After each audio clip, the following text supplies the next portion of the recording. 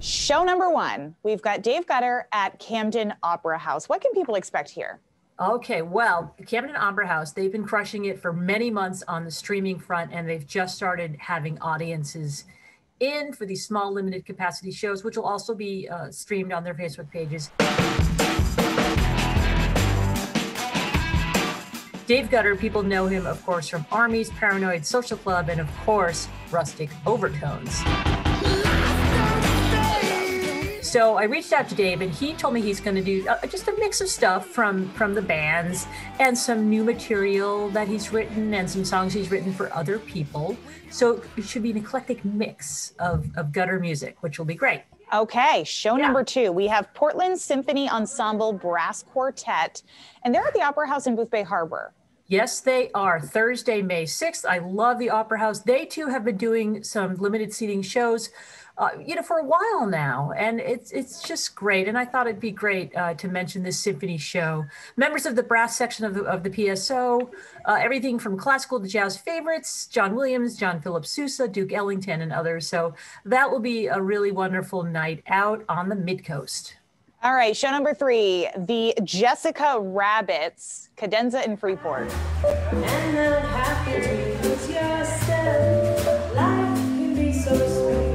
I picked this show because I love the band name so much because Who Framed Roger Rabbit is one of my all-time favorite movies and one of my all-time favorite lines is Jessica Rabbit saying, "I'm not bad. I'm just drawn that way," which is the best thing ever.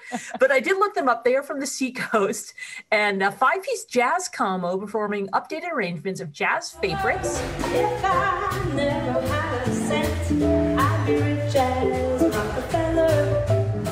like Beatles, Norah Jones, and more. So that'll just be another lively night out. A limited seating show Saturday, May 8th, Cadenza in Freeport. I just walked by Cadenza the other day when I was up in Freeport, and you know, it looks like a really cool little spot to see some live music. And it will also be streamed on the Facebook page. Perfect. All right. Finally, we've got Jason. Well, actually, we have another one after this, but Jason Spooner Band, and they're going to be at Stone Mountain Arts Center. I know one of your favorites.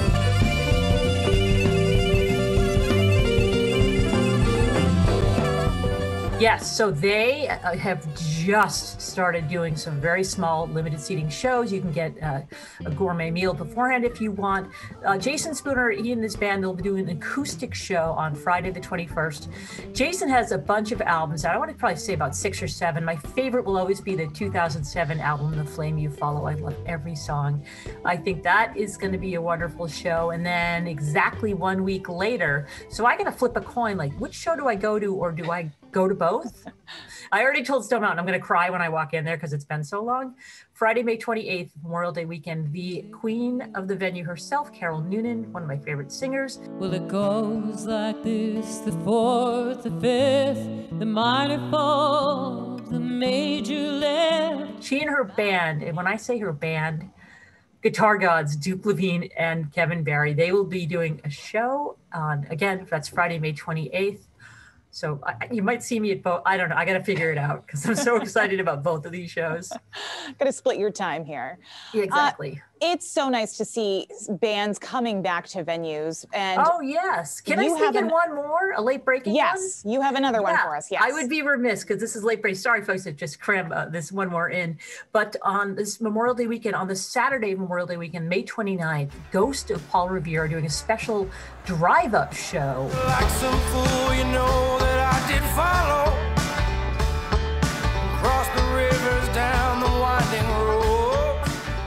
at Vinegar Hill in Arundel, which is a really wonderful space. It's under new ownership. I'm really excited to see what they'll be doing there. But drive up show and tickets are going fast. Okay, I'm really done.